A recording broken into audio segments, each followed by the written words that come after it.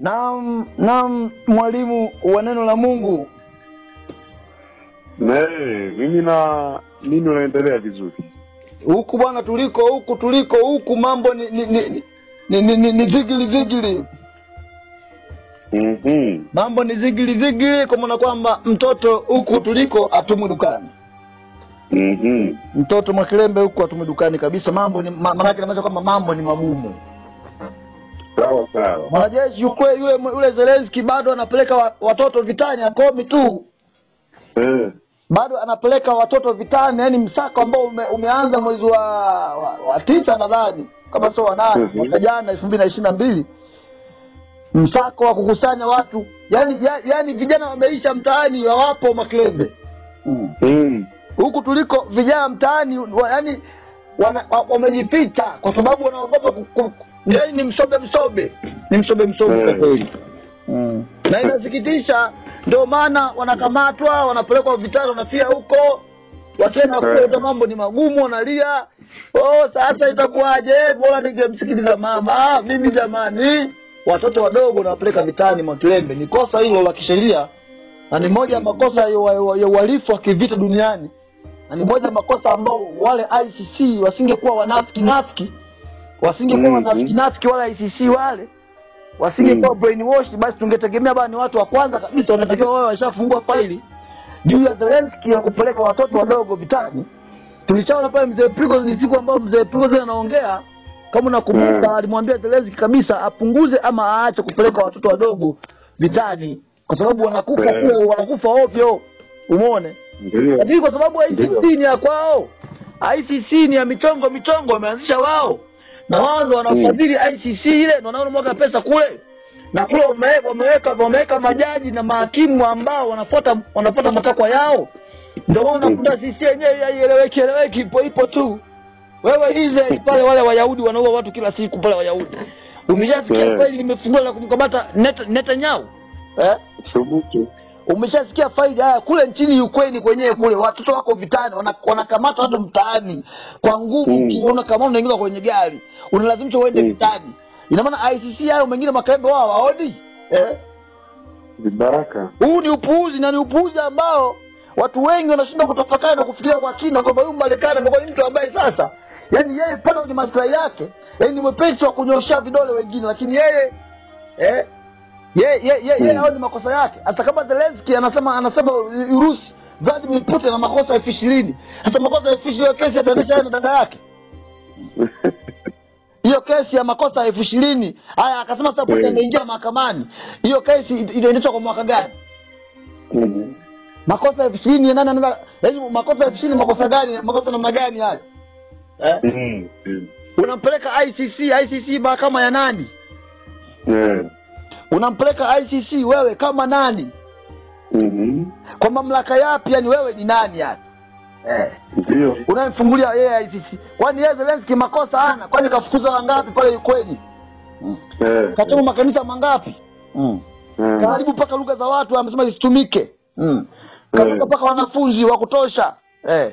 kuna kuna watoto zaidi ya kuna watoto na, na, na wanawake na, na, na, zaidi ya elfu kumi wako wako nchini Marekani kwani yeye aliomba mm kwa nani eh. Mm -hmm. alikuwa anamlaumu nani mama nani yule mama uliyekuwa waziri wa mambo ya watoto eh. Benova eh. Benova. sababu aliyefunguliwa kesi aliyefungulia mashtaka na watu wawili eh Eh. watu wawili tu eh, wamefungulia Benova eh, ana- anayejihusisha na mambo ya watoto kule nchini ukweli Eh. eh, wamemfungulia kesi na na nani na, Vladimir Putin wale wawili tu wanasema oh Mm. alisafisha watoto si elfu tatu wakaenda nchini Urusi kwa wao ICC waitaka watoto wafie ukweli si ndio mm. Wasema kwamba wasema kwamba jamaa kaua watoto. Ndio wanasemaga hivyo kaua watoto. Ukiwachukua Eh. watoto watunze inakuwa ni kesi. Ukiua inakuwa ni kesi. Kwa wao wataka etio kahamisha watoto. Utaka utataka wahamishwe kina nani? Kwani yeye kwani nani, nani alimfungulia kesi Marekani? Alipohamisha malaki ya watu kutoka Afghanistan kwenda Ulaya kwenda Marekani. Nani alimwambia akachukua watu wa Mm. Eh, ah, Makleba mimi nakuuliza wewe nani ali, nani aliwaambia? Nani alimwambia alimwambia alimwambia akachukue watu wa Afghanistan Sasa? Kwani wale wale ni raia wa, ni raia wa Marekani wale? Eh Makelele Eh, polisi- polisi wa dunia utamfungulia kesi. Ah basi Makleba, mimi yangu ni haya bwana. Si nikaongea sana nika nikamkwaza Marekani eh, Eh. au nikawakwaza vijana wa Msoga. Sasa Makilembe Eh, vijana Msola wa kazi yao kubwa ni, ni kulima mananasi. Hakuna namna. Eh. hebu niambie ndugu yangu na wewe kuna lipi huko huko huko ulimwenguni? Maana mimi naongelea huko Odessa huko. Kuna kauli ya aliyekuwa mshauri mkuu wa Pentagon Marekani. Eh. Anaitwa Douglas McGregory. ndio. Douglas McGregory anasema ni mm. hasara ya, ya na, anasema anasema ni hasara ya ajabu ambayo mm. mataifa ya magharibi hayataweza kuifidia Mm. hasara walioipata jeshi la Ukraine Mm. na aliendelea kusema uh, tangu kuanza kwa operesheni maalum Mm. ya Urusi Mm. vikosi vya wanajeshi vya Ukraine vimepoteza takriban Mm. magari elfu kumi ya kivita. Mm.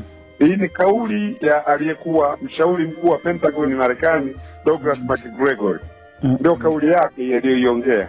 Mm. Sasa ah, sijui hili linatuonyesha wapi au linatupeleka wapi, ikiwa Marekani kwenyewe kuna watu hawa ma- maarufu waliowahi kutumikia serikali zao kutoa ushauri hivyo hivyo vita, lakini the sleeping Biden amekomaa tu. Kuwa hapana, hivi tutawasapoti yeye, naendelea kutoa silaha na hivi Mm. haya. Hata yule nani Henry Kissinger Mm. ambaye aliwahi kuwa pia ni chief secretary wa ikulu ya White House Mm. naye kwanza pale akawaambia msipigane, kwa sababu mkipigana mtaangusha uchumi. Na yule mzee ushetani mwingi wa Marekani ameshiriki sana katika kunini, lakini bado hasara ya magari elfu kumi ya kivita Mm. ni pesa ngapi hizo sasa? Magari mangapi Makelele? magari elfu kumi ya kivita? Elfu kumi ya kivita. Amezungumza nani huyo? Douglas Mark eh, eh, Ah, hayo magari tangu tangu vita vianze mwaka elfu mbili na ishirini na mbili. Ndio. Ah, na sasa hivi juzi kati Makelembe hapa kuna magari yamepelekwa kama magari elfu moja mia tano kuelekea elfu mbili kutoka Umoja wa Ulaya. Maanake ni kwamba tegemea magari mengine zaidi kuharibiwa. Eh, tegemea magari mengine zaidi kuharibiwa. Magari elfu mbili pia yameenda kule. Magari umezungumzia magari peke yake. Ndege, unajua ndege ngapi zime- zime- zime- zimeharibiwa kule nchini Ukraine? Mwakilembe,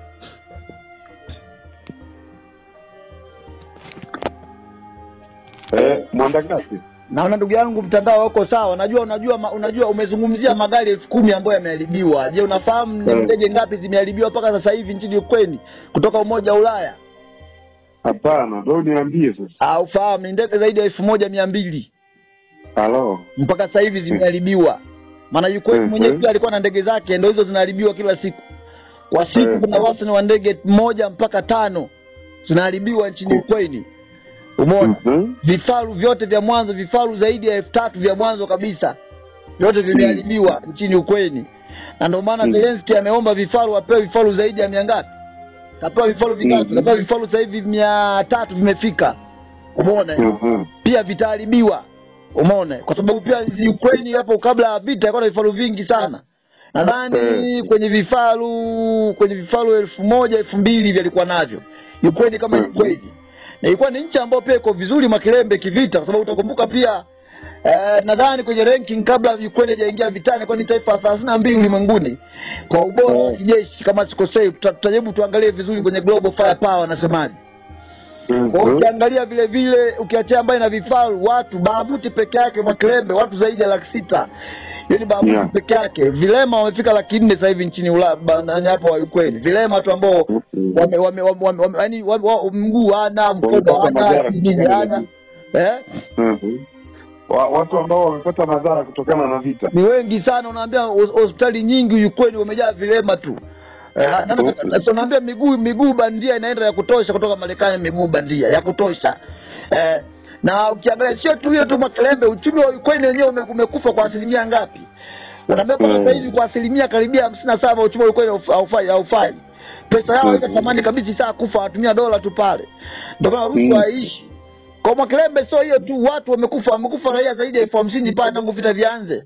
Raia za, raia Mhm. zungumzia wanajeshi raia zaidi ya elfu hamsini wamekufa pale Mm. vitani.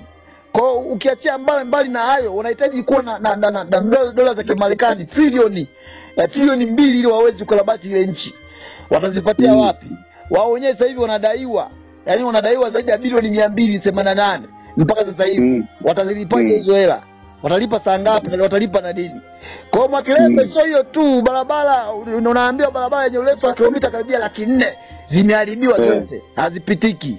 Ukiachia mbali nini, wanasema nini, matreni ya underground haya, umeona Eh. njia inayofanya kazi ni moja tu kutoka Ulaya kuingia nchi Ukraine kutokea Poland eh, kupitia Eh. Ukraine peke yake unaweza ukapita pale. Umeona ndugu yangu Mwakilembe, kwa ni hasara Eh. iliyoje kwamba ni uchumi wenyewe pia umekufa, ufai nchi inadaiwa, miundombinu imeharibika, madaraja yamevunjwa, maeneo yamechukuliwa.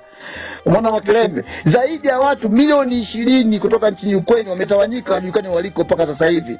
Taarifa Mm. nyingi zinakwambia milioni kumi kumi na tatu, lakini milioni ishirini wameshapotea pale nchini Ukraine. Hawa hawajulikani walipo, mbali na kwamba watu ambao wanajulikana kwamba wamewakimbizi, kuna wale ambao hawajulikani walipo mpaka sasa. Mm. Ni hasara iliyoje Mwakilembe, kwamba kwa siku asilimia watu hamsini mpaka mia mpaka mia mbili wanakufa nchini kwa sababu ya vita. Kwa hivyo kile Mm. sio tu hilo leo niambia kuhusu si mambo gani gani, lakini vitu magari, kwa sababu Mm. kumbuka pia vile vile Urusi ni nchi ambao hawasimami hawakupi muda wa Mm. kupumua, ushambulia muda wowote ule, hawakupi taarifa. Ving'ora kila kona, wanashambulia miji karibia kumi na tatu ilikuwa inashambulia. Kwa hiyo Mwakilembe, Mwakilembe ni wazi kwamba vita hivi vimegharibu sana uchumi wa, wa, wa Ukraine, lakini na umoja wa Ulaya pia vile vile. Umesikia nchini Mm. Marekani benki zaidi ya elfu mbili kubwa na ndogo ndogo zimeshakufa mpaka sasa hivi. Benki pekee ambayo wanaitegemea ni benki ya Republican, ni benki ya Republican na Bank of America, ndio benki mbili kubwa, lakini benki zote kwa hata Ulaya, benki kubwa zaidi dunia Ulaya kule duniani. The Swiss nini Credit Bank, umesikia pia yenyewe ishafilisika wanapambana kuinanyi kuirudisha, waprinti makaratasi yao wayaingize benki, na kitu ukisha print pesa zikiwa nyingi waingiza benki. Zinakuwa hazina thamani pia vile vile, ushanielewa? Mm -hmm. Ukiangalia pia Mhm. vile vile hata hata chakula chao kule kwenye supermarket Marekani, Uingereza huko vyakula yameisha, ni swala kutafuta. Hauwezi ukaingia Mm. supermarket ukatoka kwa nini unavyotaka wewe, unapimiwa eh, cha kuchukua bwana, hivi natosha, natosha, wengine pia wachukue.